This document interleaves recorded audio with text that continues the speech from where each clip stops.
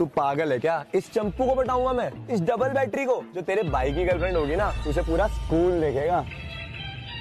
आजा तुझे आसमान में ले चलूँ चाँद को उसकी औकात दिखाने। मेरी महबूबा।